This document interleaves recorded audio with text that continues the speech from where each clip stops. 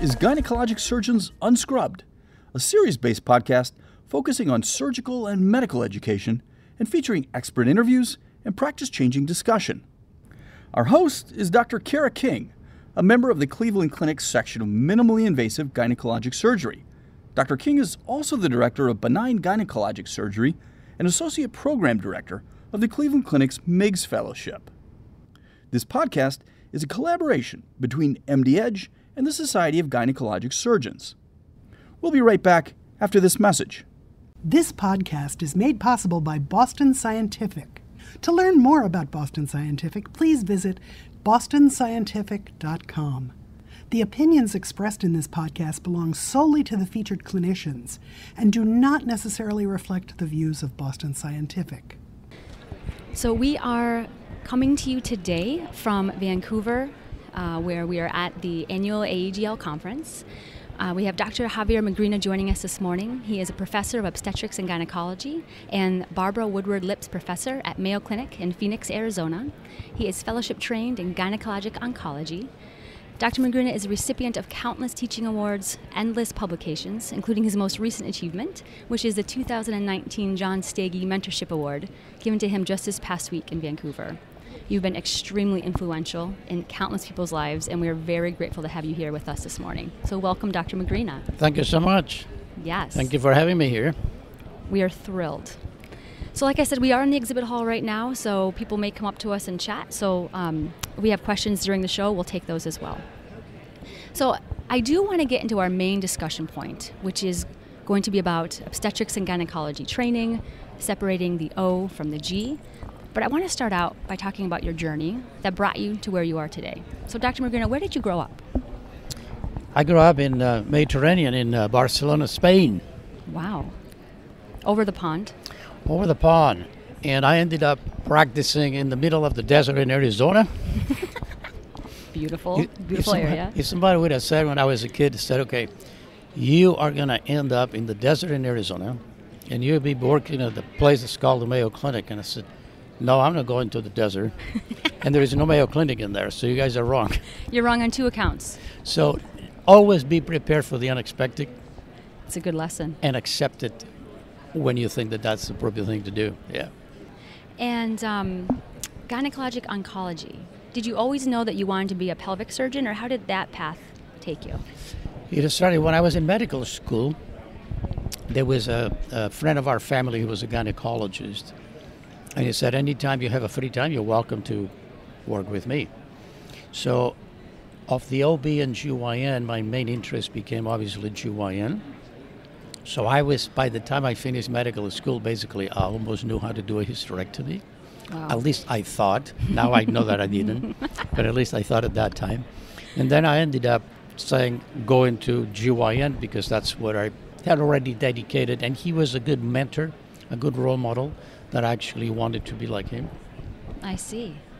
It's important to have good role models, and I definitely yeah. want to get into that more in detail with you later on in our show because you've been such um, an exemplary example of how to be a mentor, how to be a sponsor, um, and so I can see how that, that carried with you throughout Good. your career. Yeah. Okay. So are you ready to dive into O separating from the G? Anytime. So the first time I actually heard you discuss this topic was at your AAGL presidential speech back in 2013. And it generated a lot of discussion back then, right? So 2019, we're still talking about it, but nothing has shifted too much in regard to training. Talk to me about the limitations of a current obstetrics and gynecology training program, and why do you think it benefits separating these two subspecialties, or these two specialties, I should so, say? So, uh, if you may, if you may allow me to take you back a little earlier, I would love that it, it was a separate in 18, 1889. That's about 130 years ago. They created it as a single specialty, obstetrics and gynecology. So then you have 130 years of evolution, and nothing has changed. Right. But probably at that time it was a good idea because the, the knowledge was very limited. The number of procedures probably maybe there was only one or two. Now, 130 years later, the knowledge has increased, the number of surgical procedures has increased dramatically, but we're still keeping it together. And the emphasis perpetuates. ACOG is 58 or 60 years all 68 years old, I believe. Yeah. So, and it still perpetuates the concept. ACGME still enforces primary care in the OBGYNs, and the American, uh, another Congress of OBGYN, American Congress of OBGYN, also in 2017 said primary health care is an integral part of an OBGYN practice. So we're just so dilute. So they're telling us we have to be primary care physicians, as well as obstetricians, as well as GYN surgeons. And so it's just not enough time, right? You're right. Yeah. That's correct. And back 30 years ago, doing a hysterectomy, there was one way to do a hysterectomy, right? An open Correct. procedure. And now we have vaginal. Well, we had vaginal back then too, didn't we? We did vaginal, Vaginal. too. But- Late 1800s. Exactly. Was that our? Yeah, exactly. And then robotic, straight stick, single port. There's all Right. these different ways to do a hysterectomy. So numbers. Tell me about um, what's the average number of hysterectomies that a general gynecologist does in a year? In uh, uh, the number for 2010 was 8.5. So think about it that would any mother go to an obstetrician that says, I'm a low volume obstetrician, and in surgery, low volume is defined as less than 10 a year. High volume is 50, more than 50 a year, Okay. which is about one a week. So if you take that less than 10 and the mother says, Yeah, I deliver 8.5 babies a year, no mother would go to No, you don't. And- you don't see enough to be prepared. Right, and probably maybe ACOG would not allow it, but they are allowing to do something which to me is more complex than a delivery, which is the hysterectomies and, hyster- and procedures that they're done in the uh, operating room. That's an interesting way of looking at it. So, from the lens of obstetrics, not nearly enough numbers. Right. But from lens of gynecologic surgery, which can be complex, somehow that seems like enough. Correct. That seems enough. So it's, it's okay. Low volume surgery is okay. And in the um, Mass General Harbor, they had a publication where they have 85 GYN surgeons. And of the 85, only eight of them, 10%, are high volume. The vast majority are low volume. Wow. And when they look at the results, obviously there is a difference in results that you have like this Right. As long as they are permitted to operate, they will continue to operate. If, if I may take you back to another, why do people go into the OBGYN when the medical students that we have at Mayo, some of them says, no, I, I like to go into OBGYN. And then it says, why? Oh, because you can do a lot of different things. And I go like, no, no, no, no, no, no. No, no, no, This no. is the wrong way to think about practicing Yeah. If you are an athlete, you're going to play only soccer, for instance, and you're going to play also on the same position every single game. Right.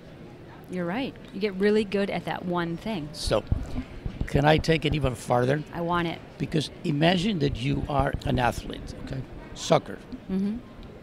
Plays on the same position, offensive all the time, right or left, Mhm. never changes. Mm-hmm. all right?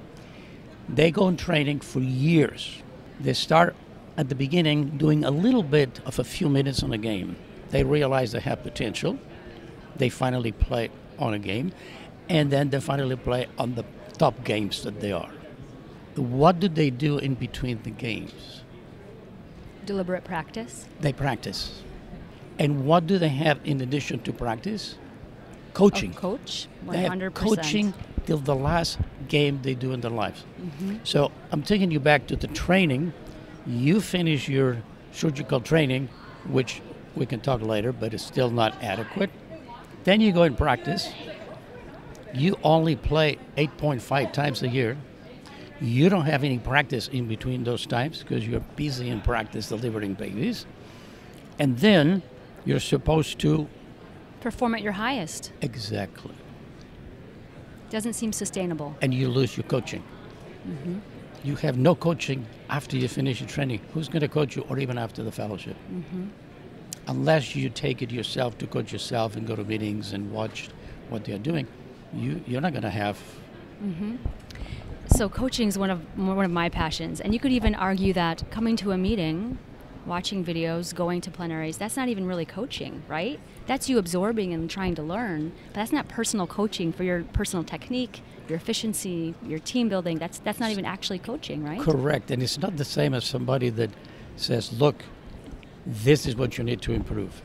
Okay, let's see how you do this the next time. Okay, no, you still have to improve it. That's the coaching. Exactly. Video review, and not just your technique, but even in the operating room itself, right? Like, what's your team doing? How are you? Which, how are you using your assistant? You're so right. It's not just, and who do you even bring to the OR, right? So it, it may even be more important who you're bringing to the OR and who you're not, on top of your surgical skill. It's just so many layers of complexity. Correct. Yeah. Correct. And we, we come to accept that that's the way it is and that's the way we practice. And nothing is done unless there is enough people that they come up and say, look, we, we want to do something. Cleveland Clinic has started a program already separating to some degree the two practices. And you can probably talk to me about more because you Yeah, are there. I am. Not me. So And I'd actually love to talk to you about that. So, so you're right. We have an OBGYN tracking program, and what that means is that we have certain rotations that the residents have to complete, and then they have um, flex months where they can add whatever type of subspecialty work that they want. So I actually ran the numbers before this today to figure out what a general OBGYN residency looks like in regard to GYN and obstetric months versus the tracking program that we have, where if somebody tracked all of their flex months to GYN, what would that look like? And what it looked like is general OBGYN residency programs have about 17 months dedicated to gynecology and 31 months dedicated to obstetrics. And that's the average general OBGYN program in the country. With a tracking residency program, if somebody tracked all of their months into GYN, they can get up to 25 months of GYN and 23 months of obstetrics. So with tracking, we definitely increase our numbers, and I see a difference in the operating room you do and plus our, our simulation program is really excellent too. Yeah. We do a lot of cadaver work. But if you do dedicated practice and separate it out, I do see a difference in, in the graduates. Congratulations for being pioneers.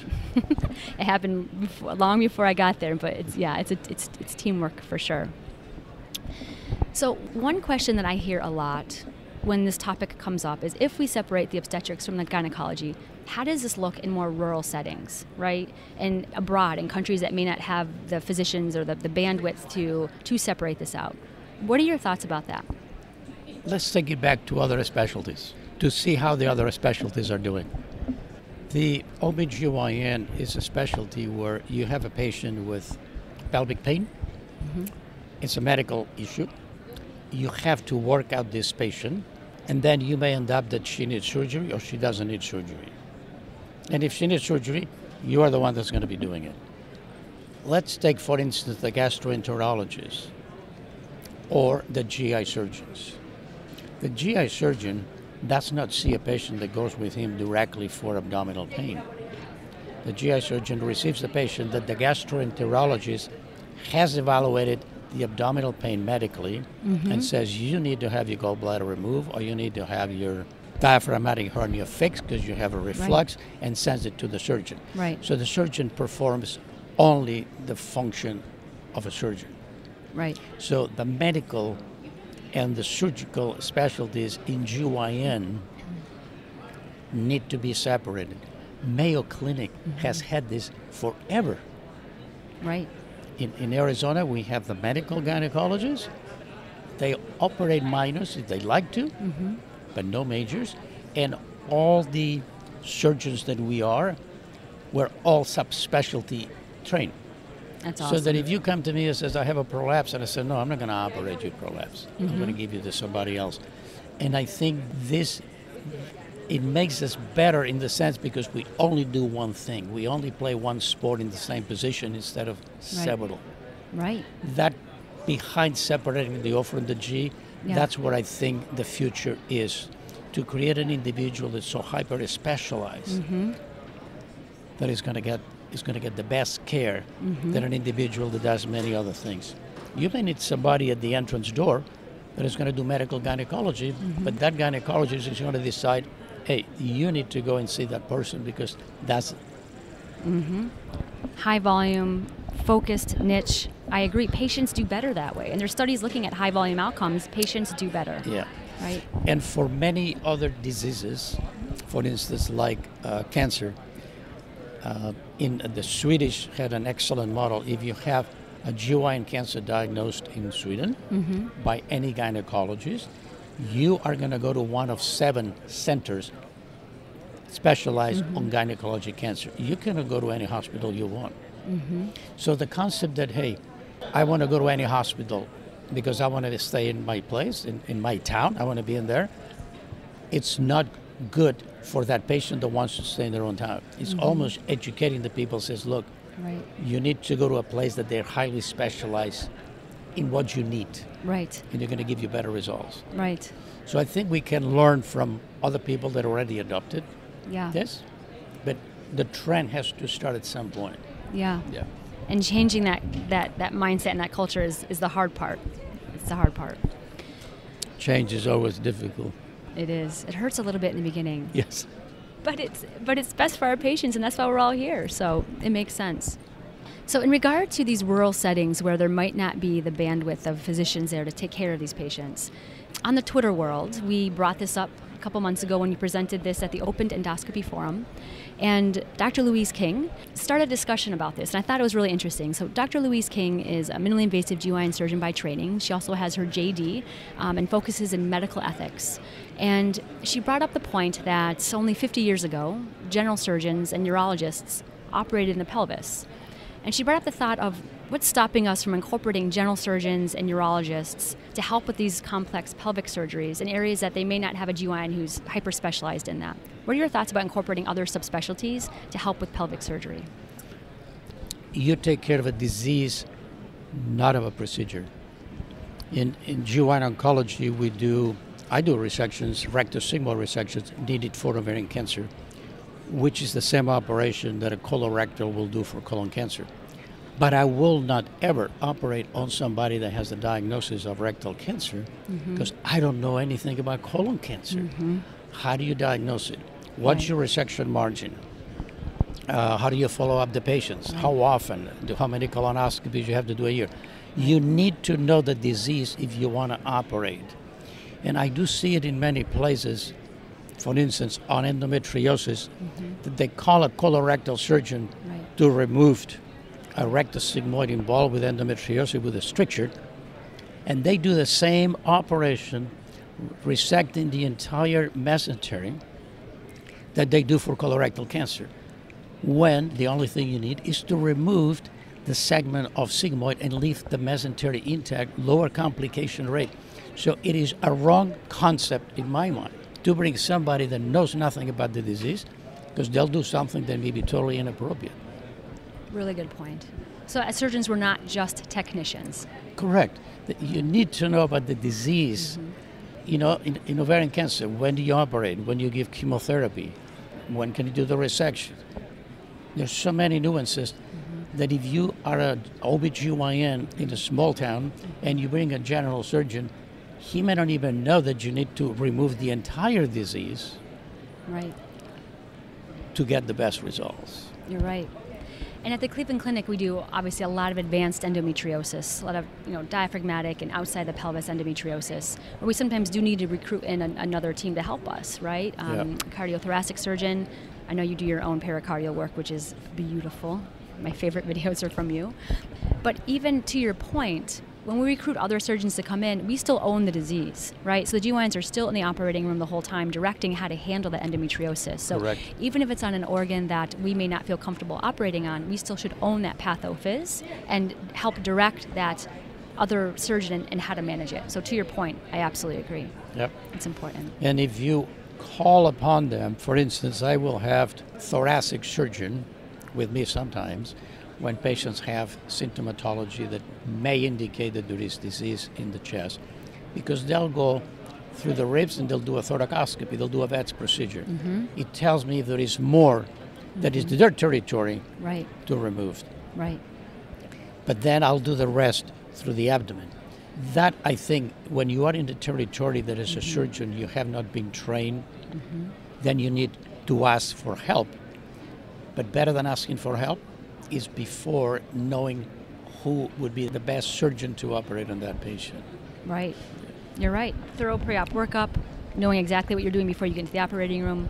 mobilizing your team, getting each person as the high, most high volume in that area, best outcomes, proven. I've seen mistakes, which it's hard to understand why. Ascites, omental cake. A gynecologist did a laparoscopy and then referred the patient to me, and I said, uh, "Why did you do laparoscopy? I wanted to see what kind of cancer it was." And he's not a GYN oncologist, so it, it's being only doing one thing well that I think is going to make the results better. Yeah, I call this the hyper specialized people I like in, that. in GYN oncology, which is already about now 50 years old, yeah. I only do surgery. When I was trained to do surgery, chemotherapy, and radiation. Right. Well, at that time, maybe there were only six drugs. A little bit But- more narrowed scope But back now, then. now that there are so many more drugs, genetically individualized chemotherapy, Yeah. radiation therapy is totally different. They have proton therapy, high dose brachytherapy, which I was never trained on that things. So I only do the surgical aspect. Yeah. And there is no other oncology specialty that they do their own chemotherapy. They're breast surgeons. None of them gives chemotherapy. It goes to the medical oncologist. Yeah. Colorectal surgeons, it goes to the oncologist. For us, no. We do our own chemotherapy. Isn't that It is interesting? absolutely even the subspecialties. Mm-hmm. It's happening. That is changing, but it hasn't changed yet. Mm-hmm. Look at the volume of radical hysterectomies by the fellows. Since 1988, the volume of radical hysterectomies has gone down, and it will go down more in the future with the vaccines. right. To the point that the fellows graduating now, they've done 66% less radical hist than in 1988. Really? 66%. That's remarkable. Yeah. So it means that cervical cancer will have to be done at only a few centers. There's going to be done correctly by people that do enough volume of cases. It's so true. That encouraging patients to travel may just be the way we have to deal with this because of just sheer numbers. We'll be right back after this message.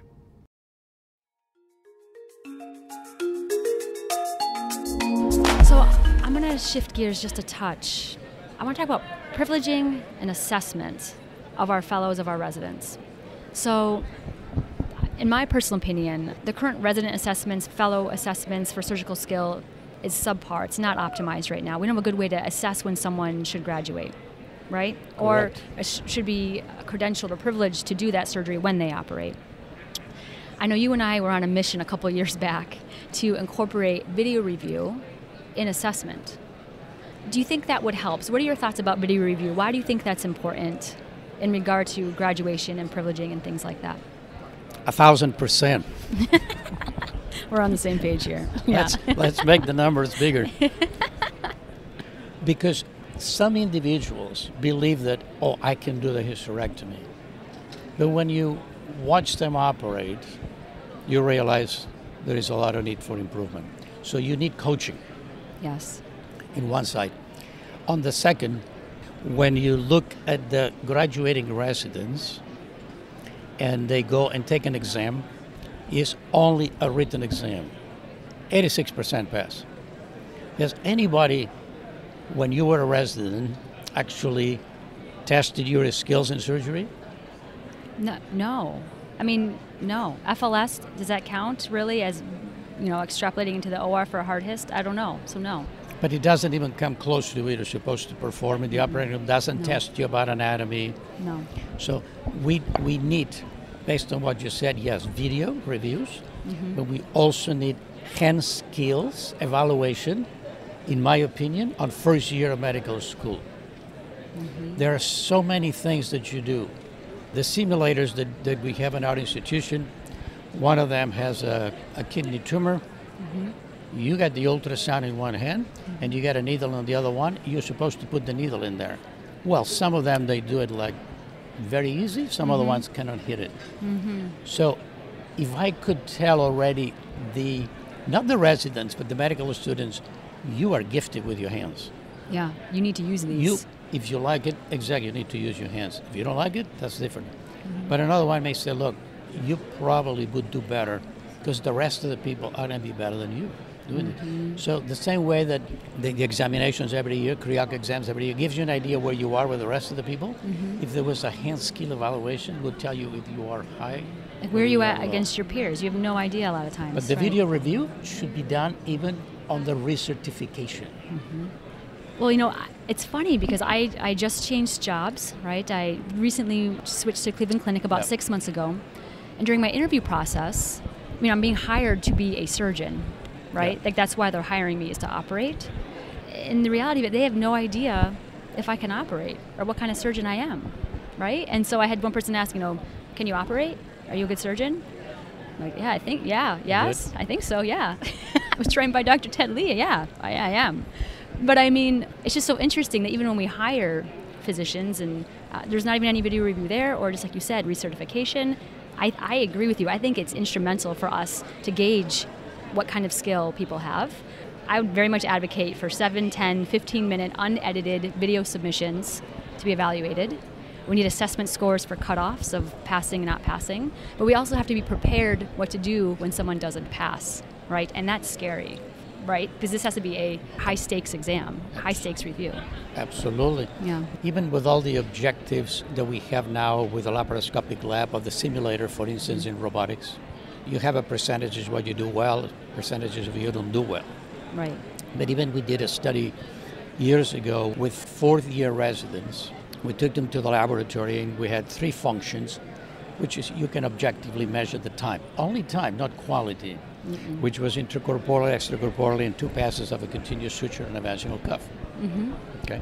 Okay. So the four year residents, the, their time, average time to do was 16 minutes.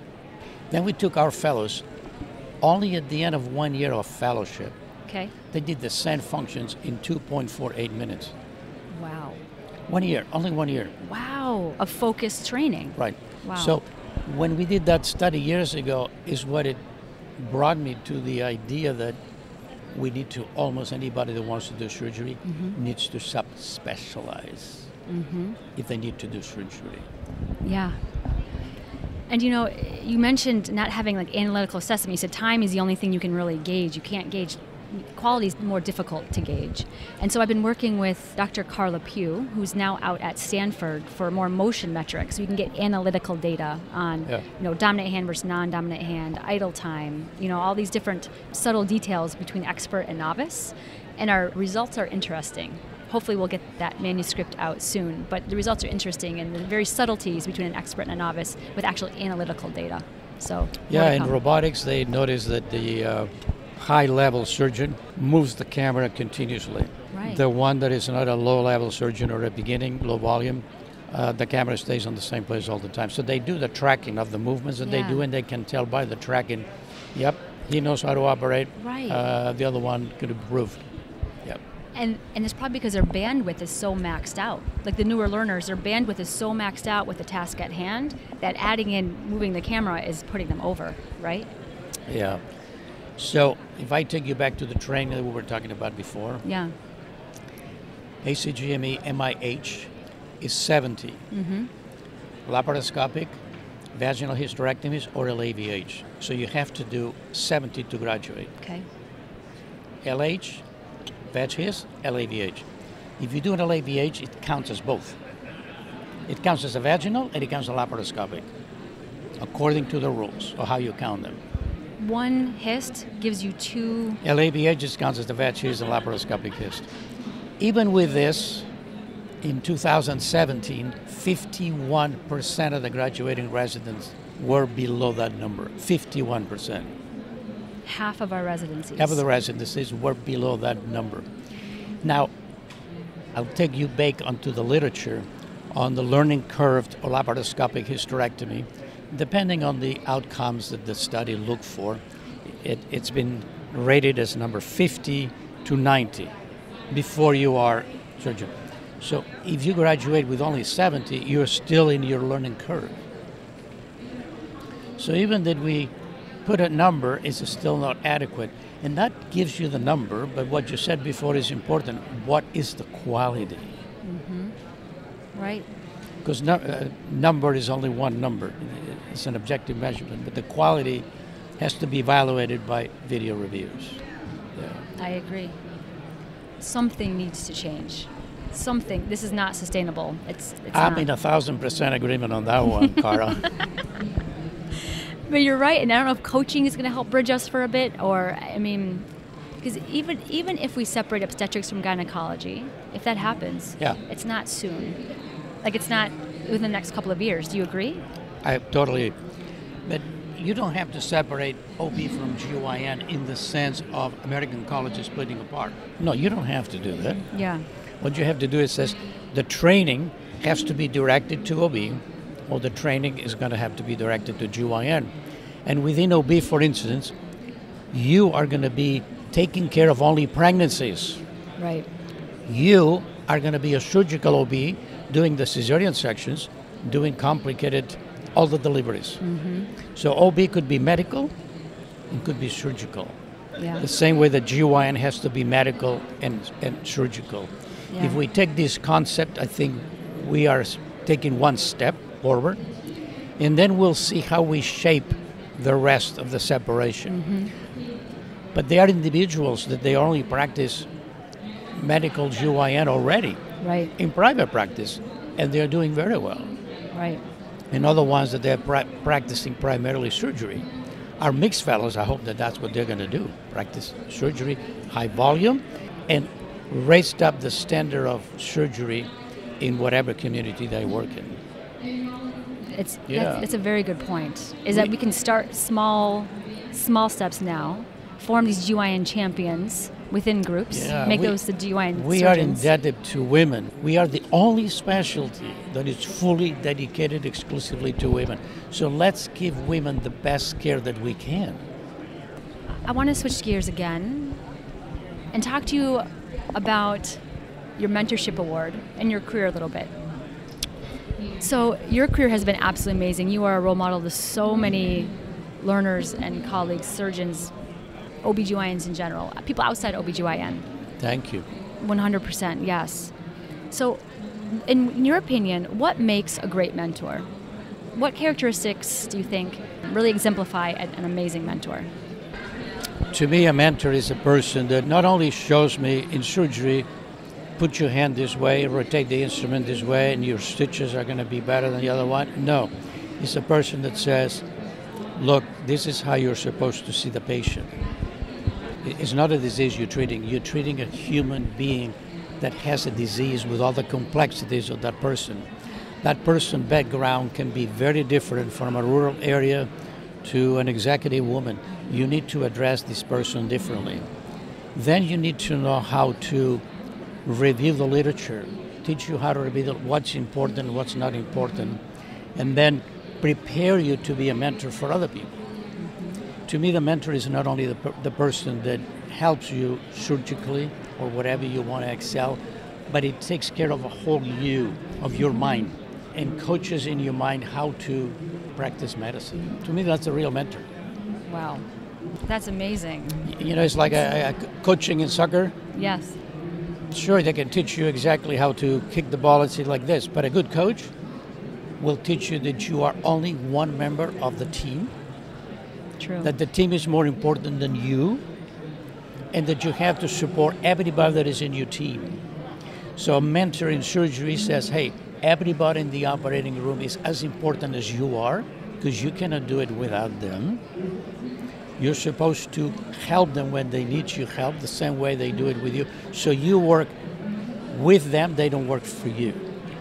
To me, that's the concept of a real mm-hmm. mentor, mm-hmm. that it teaches you more about life, because the mentor is going to be usually somebody who's older True. and may have a little more wisdom or experience that things that you learned, things that you've done wrong, and you want to, hey, don't do this mistake. I've done it. Avoid this. They it don't hurts. work, right? right. We appreciate you going through those things for us. Yes. But you're right. When a surgery goes well, it's your team making that happen, right? When a surgery Yeah. feels really good, it's because your assistant was on, they had all the equipment that they need, your anesthesiologist has everything optimized up top. It's, it's the team when things feel good. Yeah. uh, something is my operating room. If you walk into an operating room and you ask, what's the philosophy of the surgeon? They don't know it. There is no team. You come to my operating room and said, okay, what's what does this guy say all the time? No excuses. Is that your line? That's my line. No excuses. Everybody knows it. Why? Because the day that you don't have any excuse, you accept all your responsibilities. Mm-hmm. Oh, I'm sorry, I forgot. There's no excuse for forgetting something. We have a human being with a disease mm-hmm. that unfortunately has to have surgery, and we want to make the deliver the best possible care. So when you when you push this every day, every day, every day, the people that work with you, they are on the same mode. Mm-hmm. The entire bar is raised. Right. So you have to have a team that all work under the same philosophy. Mm-hmm. Pushing themselves to the edge to continue to get better. Correct. Right? Yeah. It's true. Who is your most influential mentor? Uh, when I was a resident, it was a GYN surgeon, Dick Simmons, mm-hmm. who saw patients as what I thought a role model should do it. In medical school was a gynecologist in Barcelona. That was also a role model for me. In uh, GYN oncology fellowship uh, was Jack Masterson, who taught me a lot of things outside of the operating room that I had never learned. Nobody had ever done it to follow me there. And then ever since then, I've been mentored by everybody in this room probably Right. Right. because everybody has something that I can take from them. Yeah. So I, I when I go to meetings like this, I, I kind of joke and says I steal energy from people, Yes. meaning I learn something from that person that I'm taking with me that I'm I want to be like that person doing this. Yeah. But that doesn't mean in surgery or doing the video. It means delivering a speech, being a moderator, Yeah. addressing an issue, etc. Right. Like you, I wish I could be like you right now. Oh my gosh. Stop it. You should be on TV. Stop it. Stop it. My goodness. I value your time so much. So, what makes a good mentee? So, what, what can a mentee do to enhance their, their relationship with their mentor? Does that make sense? Yes, there has to be a community of objectives. Uh, frequently, I will ask one of the fellows when they come and they join us after they've been two or three months with us, what's your goal? Okay, I want to excel in surgery. Okay, what have you done? Show me the list of things you want to do that you've done already to be like this. They don't have it. Right. They, they want to excel. That's why they're taking the FMIGS, but they don't know how to. Right. And then you have to teach them. If I meet with them and I said, you're supposed to do A, B, for instance, something very easy, write down all the procedures you do step by step until you have a video in your head. You give them all the steps, but they don't do them, mm-hmm. that is not going to be a good mentee. Mm-hmm. But if you have somebody that says, and that's the steps that you are suggesting to do, mm-hmm. then you know that they are going to excel.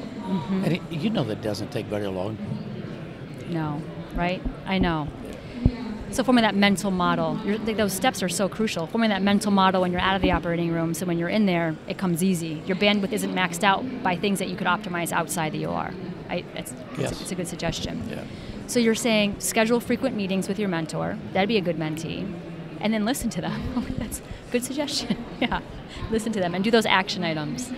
Correct. I mean, I still remember the mentors telling me something in the past, and I'm going like, I'm going to do it because I believe they were good role models. They were practicing this, and I wanted to be like one of them. It, it's like you have the desire to excel to the best that you can, but you cannot do it by yourself. It can be overwhelming, right? As a new fellow coming into Mayo Clinic, Arizona, under Dr. Javier Magrina, oh my goodness, that'd be so intimidating, right? I hope not. Well, I mean, you make it, I'm sure, comfortable, but you're you're a legacy. So breaking that down into obtainable action items, though, I could see how that could make a big difference and making something seem really overwhelming obtainable Right. because you have very specific steps on how to get It there. takes it takes patience. You have to tell them, look, you are not going to grow and achieve this in two days, only three days. Oh, I want to practice every day in the laboratory. No, 20 minutes at a time, twice a week, mm-hmm. continuously during two years. You're going to be better than anybody else. Mm-hmm. It's like you don't run a marathon every day, right? no, So you don't go to the lab three hours a day Right. because you're going to overkill yourself. You do this. Second, you have perseverance. Perseverance means hey, this is not coming out. I'm never going to get there. No. The minute that you say never, you will not. Right. So you always said that you can do it. Persevere and then practice. I call it the three P's patience, perseverance, and practice. Brilliant. And then you will excel. But you have to put the time in. Yeah, correct. You have to put the time in with deliberate practice. Yeah, those are good recommendations. Question for you again. So, mentorship versus sponsorship. It's subtly different, but different. And I believe that you are a, a amazing in both avenues. But being a sponsor, I think, is a little bit different than being a mentor. What are your thoughts about the difference between those two? I think a sponsor is more of a one objective. I'm mm-hmm. going to sponsor you for A. Mm-hmm. Mentorship, I'm going to mentor you for A, B, C, D, E, G, and F until I know that you have acquired enough that then when you get at that level, you're going to be my mentor. We're gonna flip roles. Si- simply because the the young people have a different mentality. Yeah. They see things differently, and I want to learn from them. So some of the trainees that I have, even during the fellowship, become mentors. They're teaching me things that I cannot see it. So mentor and that. mentee sometimes the, the, the, the role can change. And a sponsor I think is for one specific item, which I think would be insufficient to be a mentor for only one thing. That's a sponsor. I see. I, yeah, I like your differentiation.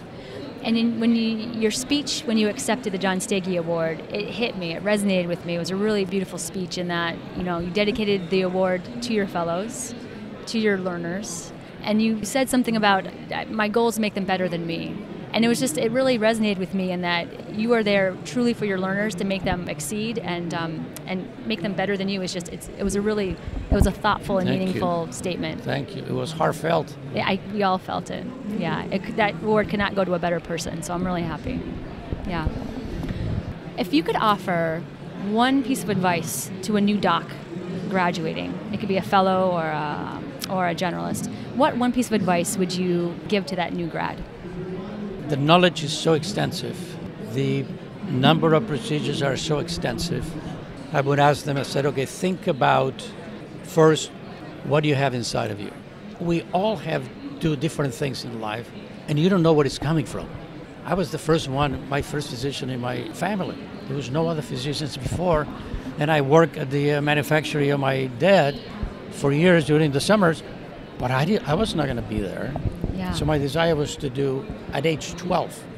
I had a desire already to be doing something with my hands in patients. So I wanted to be a surgeon at a young age. You knew it. Where does it come from? We're all made of the same carbon, hydrogen, oxygen, Yeah, and we all have different things in different specialties. So you have something that comes from inside of you. yeah, That would be number one. What is it that you really see yourself doing? yeah. That, and that's the best advice, that is not work. Something that you can do it 24 hours a day and you will never get tired of doing. In other words, you're never going to work a day in your life. So choose something like this. If you want to work with your hands like I did, do something that you're going to have to use your hands. Mm-hmm. And if you want to have use your mind, and, and to me, the internists are incredible people because they put a signature on a paper, they give a medication to a person, and they cure the disease, or they maintain the chronic disease for life. True. So find out what is your passion or dream or desire, something you feel inclined to do. Mm-hmm. And then don't do 20 things.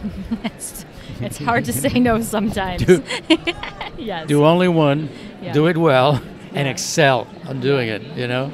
Yeah. No, I, I like that. Find the work that doesn't feel like work. Yeah. Yeah. Something like you. I have a lot of fun. Do of the MIGS fellowship. Yeah. I have a lot of fun, I'll be honest. Yeah. So thank you so much, Dr. Magrina. I appreciate You're your time this morning. I, I really, really You're appreciate welcome. you. Thank you so much. Yeah, of course. All right, so we have a few people here listening to our podcast this morning, and I am curious of their opinion. So introduce yourself. Who, who are you this morning? Good morning. My name is Pouran Malekzadeh, and I am a third year resident at the University of Tennessee in Memphis. Amazing. Thank you for joining us this morning. So, in your opinion, do you think obstetrics should be separated from GYN, or do you think that it should stay together? I think that Um, at my level of training, I am graduating with the hopes of applying to minimally invasive gynecology, not just because I do love the surgical aspect of our field, but because I don't feel prepared graduating um, and operating on a patient without a partner that's invested in me 100%. And I think that reflects a little bit about our training in general. Like you had mentioned earlier, we do have to not only master the OB medical aspect, but we also have to master the surgical aspect of OB and then switch gears and master the GYN medical and the surgical aspect. And so there's a lot that's crammed into four years. And I just, you know, Malcolm Gladwell says it best you need 10,000 hours to become a master, and we are not graduating to become masters. And so, um, yes, they can increase the laparoscopic numbers that we need. Yes, they can do all the tests that you had mentioned previously. But ultimately, I think there needs to be some change at the level, at the root, that prepares us to be excellent providers um, in whatever field that we choose and not just pursue careers just because we don't feel comfortable operating. Hi, I'm uh, Dr. Cano. How are you? I'm very good. So, where are you coming from today? I practice in Canada, in Alberta. So, today, Dr. Magrina and I have been talking about the possibility of separating obstetrics from gynecology in the training programs. What are your thoughts about that? So, in my early career, I'm from, I was I graduated in Argentina and I did my first residency training there, where it was combined and it was obstetrics and gynecology, where obstetrics was dominating because of the volume. The learning curve on that was pretty easy to obtain. Right. Meanwhile, gynecology was left for a post call physician, tired, exhausted, and probably not well prepared. Mm-hmm. And because of that, I did all the vaginal hysterectomies and total abdominal hysterectomies then. And then I moved and did a residency program at Ohio State University Medical Center. Of course, I already had mastered my obstetrics and I focus on my GYN. Over there, I can say I really learned because I would stay there. I would put my hours, interest, and I wasn't so drained the, from the obstetrics where I could really learn some gynecology. When I graduated, I still didn't feel that I could perform some of the surgeries alone, and with increasing knowledge, I couldn't master uh, doing a simple hysterectomy by total abdominal approach versus vaginal approach versus robotic approach because that would, came out in 2005 right. versus your laparoscopic approach. Right. So I doubted in doing an MIS fellowship because now I felt like after two residency training programs, I still wasn't ready to do a hysterectomy, which is the most critical simple procedure. Like uh, that uh, yes exactly. Yeah. so then uh, one of my attendants said you probably need to move to um, to a larger like a place where they do MIS and just start practicing and learning getting your mentors. Then I moved to a place that we had pretty pretty good volume for gynecology, and I still was in Canada. It's quite hard not to do obstetrics, and so I started doing some research in how this could be separated. And the first thing I learned was in the Cleveland Clinic. I think they were trying to do where residents could actually start like doing electives. So Tracking. basically, basically, you're, you're, you're, it would look like an elective, like all the way. And if you're because most attendants would say was a waste if you do if you do teach someone a gynecology surgery and they're doing MFM. I mean, so I do believe strongly that this should be separated, and also in clinical practice, not only in like in the, in, in the learning curve.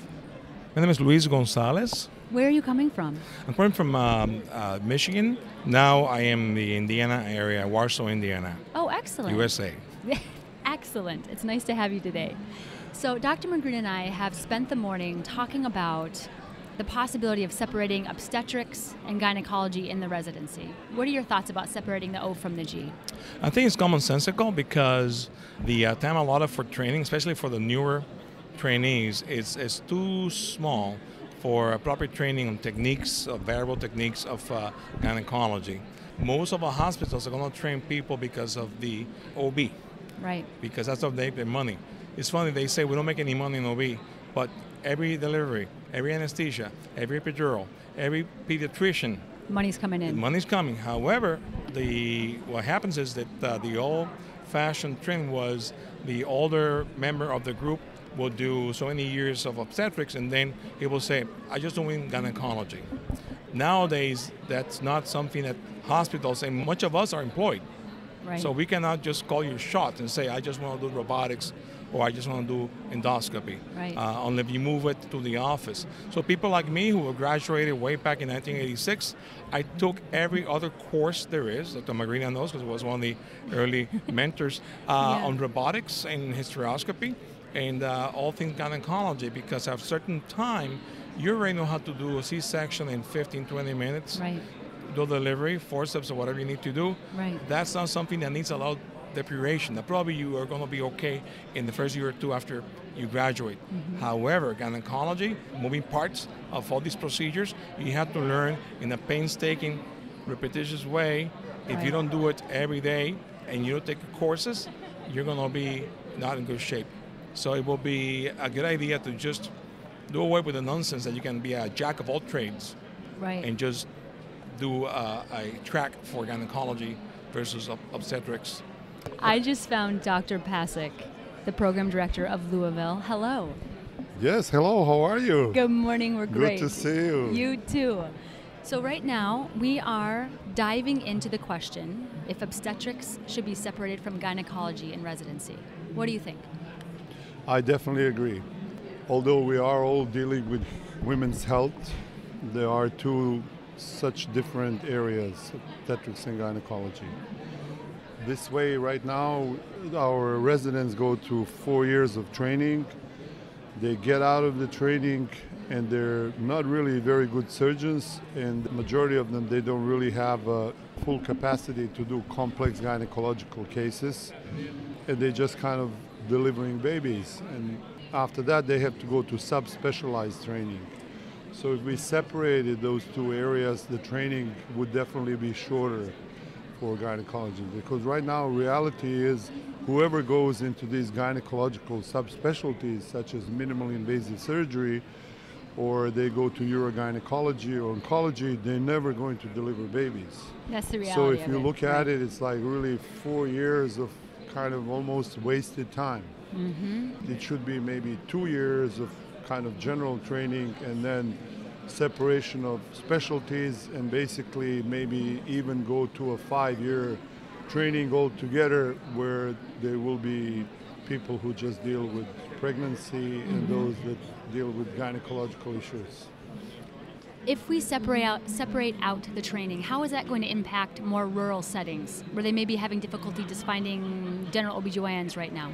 That is going to be challenging, probably for the rural settings, but now we are so connected in today's world.